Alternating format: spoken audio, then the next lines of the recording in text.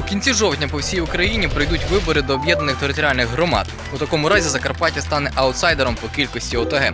Чому на Закарпатті гальмується цей процес? Поговоримо сьогодні в програмі Тиса Live о 18.30. Не пропустіть.